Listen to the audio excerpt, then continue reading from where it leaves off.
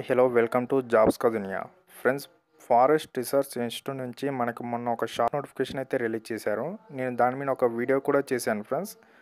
మనకి ఈరోజు official notification అయితే రిలీజ్ చేశారు. అంటే ఇది ఫుల్ నోటిఫికేషన్ ఫ్రెండ్స్. ఈ వీడియోలో క్లియర్గా మెయిన్ ఇంపార్టెంట్ పాయింట్స్ అయితే చెప్తాను ఫ్రెండ్స్. ఈ వీడియోని ఎక్కడ కూడా స్కిప్ చేయకుండా చూడండి. అదేవిధంగా ఇంకెవరైనా మన ఛానల్ని సబ్స్క్రైబ్ చేసుకోకపోతే వెంటనే సబ్స్క్రైబ్ చేయండి ఫ్రెండ్స్.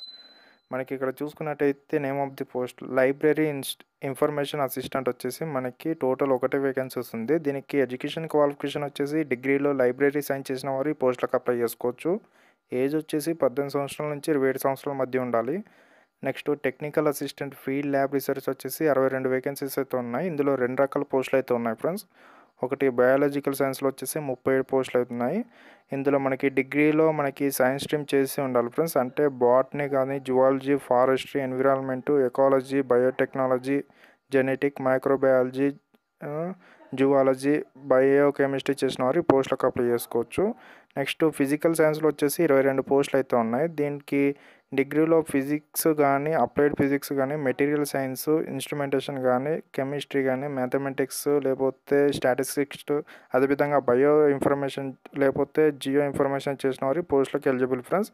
దీనికి ఏజ్ వచ్చేసి మనకి ఇరవై ఒక్క సంవత్సరాల నుంచి ముప్పై సంవత్సరాల లోపు ఉన్నవారు అప్లై చేసుకోవచ్చు. నెక్స్ట్ టెక్నికల్ అసిస్టెంట్ మెయింటెనెన్స్కి వచ్చేసి మొత్తం మూడు ఉద్యోగాలు అయితే ఉన్నాయి.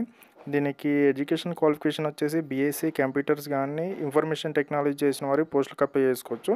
లేకపోతే డిప్లొమా చేసిన వారు కూడా ఈ పోస్టులకు అప్లై చేసుకోవచ్చు ఫ్రెండ్స్ అది లేకపోతే ఇంటర్మీడియట్లో మనకి సైన్స్ స్ట్రీమ్ చదివేసి టూ ఇయర్స్ డిప్లొమా చేసి ఉండాలి ఫ్రెండ్స్ దీనికి ఏజ్ వచ్చేసి ట్వంటీ వన్ నుంచి ముప్ప థర్టీ ఇయర్స్ మట్టికి అప్లై చేసుకోవచ్చు ఫ్రెండ్స్ నెక్స్ట్ మనకి ఫోర్త్ చూసుకున్నట్టయితే స్టేనో గ్రేడ్ టూ వచ్చేసి మొత్తం నాలుగు ఉద్యోగాలు అయితే ఉన్నాయి ఫ్రెండ్స్. దీనికి ఇంటర్ పాస్తో పాటు మనకి స్టెనోగ్రాఫర్లో మనకి eighty words per minute typing చేసి ఉండాలి ఫ్రెండ్స్. ఇంగ్లీష్లో కానీ లేకపోతే హిందీలో కానీ దీనికి ఏజ్ పద్దెనిమిది సంవత్సరాల నుంచి ఇరవై ఏడు సంవత్సరాల మధ్య ఉండాలి. నెక్స్ట్ మనకి మల్టీ టాస్కింగ్ స్టాఫ్. ఈ ఉద్యోగాలకి అందరూ అప్లై చేసుకోవచ్చు ఫ్రెండ్స్. ఎందుకంటే ఇవి టెన్త్ క్లాస్ మీద ఉన్నాయి కాబట్టి దీనికి టెన్త్ క్లాస్ అర్హత ఉంటే సరిపోతుంది ఫ్రెండ్స్. ఎటువంటి ఎక్స్పీరియన్స్ అవసరం లేదు. ఉంటే అప్లై చేసుకోవచ్చు. లేని వారు కూడా అప్లై చేసుకోవచ్చు ఫ్రెండ్స్. ఇక్కడ ఇవ్వడం జరిగింది డిజరబుల్ అని. దీనికి ఏజ్ వచ్చేసి పద్దెనిమిది సంవత్సరాల నుంచి ఇరవై ఏడు సంవత్సరాల మధ్య ఉండాలి ఫ్రెండ్స్. ఇక వీటన్నిటికీ ఏజ్ రిలాక్సేషన్ వచ్చేసి ఎస్సీ ఎస్టీ వారికి ఫైవ్ ఇయర్స్ ఓబీసీ వారికి three years person with disability వారికి టెన్ ఇయర్స్ అయితే ఉంటుంది ఫ్రెండ్స్ ఇక్కడ మనకి సెవెంటీన్త్ పాయింట్ చూసుకున్నట్లయితే ఆల్ పోస్టులు are temporary in nature but like to continue further అనేవి ఇవ్వడం జరిగింది ఫ్రెండ్స్ అన్ని పోస్టులు టెంపరీ టెంపరీ ఫ్రెండ్స్ బట్ ఫ్యూచర్లో కంటిన్యూ చేసే ఛాన్స్ ఉంటుందని ఇక్కడ క్లియర్గా ఇచ్చారు ఫ్రెండ్స్ ఇక్కడ చూసుకోవచ్చు మీరు. నెక్స్ట్ మనకి ట్వంటీ సిక్స్త్ పాయింట్ చూసుకున్నట్టయితే candidate who deserve to apply for more than one post should apply online separate for each post అంటే ఒకటి కంటే ఎక్కువ పోస్టులు అప్లై చేసుకున్న వారు ఉంటారు కదా ఫ్రెండ్స్ వారు ప్రతి పోస్ట్కి సపరేట్గా అప్లై చేసుకోవాలంట ఫ్రెండ్స్ ఇక్కడ ఇవ్వడం జరిగింది క్లియర్గా నెక్స్ట్ మనకి ట్వంటీ నైన్త్ పోస్ట్ వే చూసుకున్నట్టయితే పాయింట్ ఆన్లైన్ అప్లికేషన్ డేట్స్ వచ్చేసి ఇంపార్టెంట్ డేట్స్ మనకి సెవెంటీన్త్ అంటే నిన్న నుంచి స్టార్ట్ అవ్వడం జరిగింది.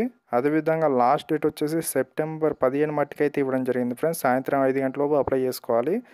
ఇక సెలక్షన్ ప్రాసెస్ వచ్చేసి మనకి రిటర్న్ టెస్ట్ ద్వారా అయితే మనల్ని సెలెక్ట్ చేస్తారు ఫ్రెండ్స్. రిటర్న్ టెస్ట్ డేట్స్ వచ్చేసి మనకి ఎప్పుడు అనేది వాళ్ళ వెబ్సైట్లో పెడతారు ఫ్రెండ్స్. వెబ్సైట్ వచ్చేసి ఇక్కడ FRI dot FRIE dot gov dot ఇన్లోకి వెళ్ళి మీరు చెక్ చేసుకోవచ్చు ఫ్రెండ్స్.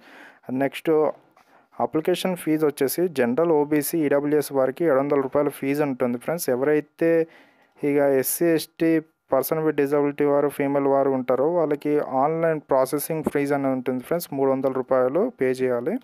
నెక్స్ట్ మనకి ఇక్కడ ఫార్టీ సిక్స్ పాయింట్ వచ్చేసి ఎగ్జామినేషన్ సెంటర్ అడ్మిట్ కార్డులో ఇంటిమేట్ చేస్తారంట ఫ్రెండ్స్ ఇక్కడ. తరచుగా వెబ్సైట్లో చెక్ చేసుకోవాలి ఫ్రెండ్స్ అప్లై చేసిన వారు. ఫ్రెండ్స్ అన్ని పాయింట్లు అయితే చెప్పడం జరిగింది. ఇంకా మనం మిస్ అయితే మీకు ఏమైనా డౌట్స్ ఉంటే కామెంట్ సెక్షన్ కామెంట్ చేయండి ఫ్రెండ్స్. రిప్లై చేయడానికి ట్రై చేస్తాం. ఇలాంటి లేటెస్ట్ ఇన్ఫర్మేషన్ జాబ్స్ కోసం మన ఛానల్ని సబ్స్క్రైబ్ చేయండి. అదేవిధంగా ఈ వీడియోని మీ ఫ్రెండ్స్ అండ్ ఫ్యామిలీ మెంబర్కి షేర్ చేయండి. Thank you for watching.